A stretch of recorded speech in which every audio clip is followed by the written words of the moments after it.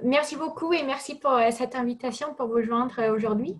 Euh, je m'appelle Claudia Schwalis et je suis la responsable du programme de travail de l'OCDE sur la participation citoyenne innovante. Et ce que je vais présenter aujourd'hui dans les dizaines de minutes prochaines, ce sont les, hum, les résultats d'un rapport que nous venons de publier en juin 2020 qui s'appelle Participation innovante des citoyens et nouvelles institutions démocratiques, prendre la vague délibérative. C'est une étude de 289 euh, processus délibératifs représentatifs. Euh, alors, avant de lancer tout de suite euh, dans les, résultats et une explication de ce rapport, je voulais juste un peu prendre une minute d'expliquer ce que, je veux dire par un processus délibératif représentatif, parce que c'est mot un, peu, un petit peu technique et c'est aussi une différence assez importante avec la plupart des processus qui sont plus participatifs en, nature. Euh, donc là, euh, ce rapport parle en particulier des processus où il y a au sein de, ça, il y a une autorité publique qui, veut convenir un petit groupe représentatif euh, qui reflète la diversité de la société et où l'objet est formulé sous forme de tâches claires et liées à un problème public. Donc, ce petit groupe a le temps pour avoir une délibération où ils ont accès à un large éventail d'informations, euh, où il y a le temps de pouvoir euh, considérer des arguments et des perspectives diverses. Et le but euh, d'une délibération par rapport à un dialogue, par exemple, c'est vraiment de trouver un terrain d'entente. où est-ce qu'on est, où, est, d'accord sur cette question souvent difficile et compliquée peut-être même controversé, euh, où est-ce qu'on peut trouver un peu euh, de middle ground entre nous euh, et trouver ce terrain d'entente? donc, le but, c'est que ce, petit groupe construire des recommandations collectives et éclairées pour l'autorité publique. Donc, nous avons à l'OCDE recueilli tous les exemples des processus euh, délibératifs et représentatifs euh, que nous avons pu trouver. Euh, donc, 289 exemples. Et tous ces exemples ont trois critères en commun. pour avoir un, pouvoir de les comparer après, pour avoir un minimum de, choses en commun entre tous les exemples. donc, la, la première critère, c'est la représentativité. Euh, donc, les participations euh, sont, choisies par une sélection aléatoire il y a une stratification démographique pour que ce groupe soit plus ou moins représentatif de la communauté concernée par cette question publique. Euh, le deuxième critère, c'est la délibération. Donc, vu que la délibération, c'est quelque chose qui prend du temps, nous avons opérationnalisé ce critère en disant qu'il fallait qu'il y ait au moins un jour entier de réunion en présentiel pour une délibération.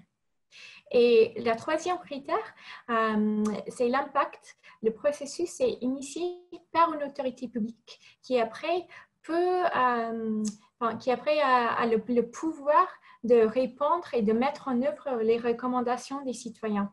Donc, il y a aussi pas mal d'exemples qui existent, euh, des initiatives par la société civile ou, par, euh, par les, professeurs académiques aussi. Euh, mais pour des raisons de comparaison, nous avons juste étudié tous les, tous les exemples qui ont été vraiment initiés par une autorité publique. Alors, pour que ça soit peut-être un petit peu moins abstrait, j'ai quelques exemples de, ce que je parle. Souvent, ces processus représentatifs délibératifs sont, sont nommés comme des, assemblées citoyennes, des jurys citoyens, des panels citoyens, des groupes consultatifs de citoyens. Euh, donc, c'est un peu ces, les, termes qui sont employés. Euh, donc là, je vous, je vous montre une photo du, du groupe consultatif de citoyens sur l'assurance médicaments au Canada. Euh, donc, c'est un groupe, c'est un processus qui a eu lieu au niveau national en 2016. Il y a eu 35 euh, citoyens qui ont été tirés au sort afin de former une démographie représentant la population canadienne. ils se sont réunis pendant cinq jours entiers pour offrir aux décideurs canadiens une perspective informé et, impartial euh, sur l'existence d'un désir d'avoir un système national d'assurance médicaments euh, et, si c'est le cas, de la façon dont ce système pourrait être conçu pour refléter les valeurs et les priorités des Canadiens de la meilleure manière possible. Un autre exemple euh, qui est plus proche de moi à Paris maintenant, euh, c'est euh, la Convention citoyenne pour le climat qui a eu, lieu en France très récemment. Donc, c'était une groupe de 150 citoyens sélectionnés par manière aléatoire aussi en France, représentatifs de la, de société française. et ils se sont réunis entre octobre 2019 et juin 2020 afin de, de, de pouvoir euh, construire des recommandations pour le gouvernement français à propos de comment est-ce qu'on pourrait réduire euh, les émissions de gaz. Euh, ah, greenhouse gases euh, par, euh, par 40% euh, avant 2030 par rapport aux chiffres en, 1999. et donc en juin 2020, ils ont, ils ont donné ces recommandations au gouvernement. C'était un mélange de recommandations qui, qui, sont allées vers le, Parlement, vers l'exécutif et aussi quelques propositions pour soumettre sous forme de référendum au grand public. Et finalement, je, vous laisse un autre exemple, mais là, j'ai mis plutôt un schématique pour vous expliquer. Et euh, c'est une initiative qui vient des États-Unis qui s'appelle The Citizens Initiative Review. Et je ne savais vraiment pas comment euh, traduire ça parce que ça vient, vraiment de là-bas. Et c'est un processus délibératif représentatif qui, qui, est, qui est créé en, particulier euh, avant une mesure de scrutin.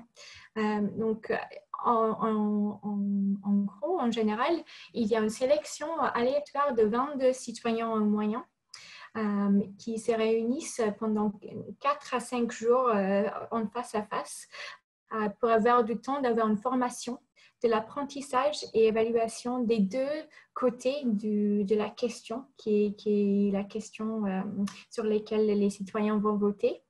Euh, ils ont le temps de, modifier et affiner les informations qu'ils veulent euh, soumettre aux, citoyens plus larges.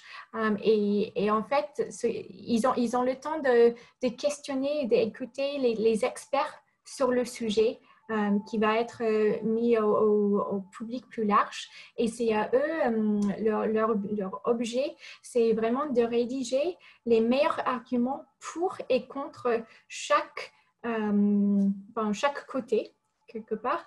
Et ce qu'ils rédigent, après, c'est une déclaration collective qui est distribuée à tous les électeurs dans leur dépliant euh, des électeurs qui va avec leur, euh, ah, comment on dit ça, euh, avec leur, ballot paper, le, papier qu'ils reçoivent pour, aller voter. ils reçoivent avec ça cette déclaration collective des citoyens. Suis désolée, je ne sais pas si vous entendez, il y a un peu de bruit, excusez-moi. Donc voilà, donc ça c'est un autre exemple d'une autre manière euh, comment on, pourrait aussi imaginer ces processus délibératifs représentatifs. Euh, il y a plein d'exemples comme ça où ce n'est pas juste lié forcément à des recommandations sur une politique publique en particulier, mais où c'est aussi une, réflexion euh, sur une question pour une mesure de scrutin. Alors, dans ce rapport, juste pour vous donner un peu le, contexte plus large de ce qui se passe euh, euh, au contexte international, euh, donc nous avons recueilli tous ces, tous ces exemples que nous avons pu trouver, pas juste dans les pays de l'OCDE, même si on a trouvé que la plupart des exemples se trouvent dans les pays de de l'OCDE. Donc 282 exemples viennent des pays de l'OCDE il y, avait sept euh, qui étaient des autres pays. Euh, mais on, a trouvé que les premiers exemples qui, qui avaient les trois critères d'inclusion, on, trouvait en 1986. Euh, on a vu que la, vague délibérative a pris de l'ampleur au fil du temps, vraiment à partir de 2010. et ce qu'on ne voit même pas sur cette graphique, c'est le fait que nous avons dû arrêter notre collection de données en octobre 2019 parce que, enfin, à un moment, on était obligé d'arrêter la collection et de commencer l'analyse pour écrire ce rapport. mais, mais au moment qu'on a arrêté ça en octobre, il y avait encore 30 à 40 processus qui étaient soit annoncés, soit en train d'être mis en œuvre, mais pas encore terminés. donc, c'est pour ça que l'OCDE, on était aussi intéressé de faire une analyse un peu plus approfondie de comment ce type d'engagement citoyen euh, est vraiment mis, en place aujourd'hui, vu que c'est quelque chose qui se passe euh, de plus en plus souvent et, dans plusieurs pays euh, dans le monde. Donc, nous avons trouvé les processus délibératifs dans plusieurs pays. Il y a 18 pays de l'OCDE la plupart des exemples que nous avons se trouvent en Allemagne, Australie, au Canada et au, Danemark.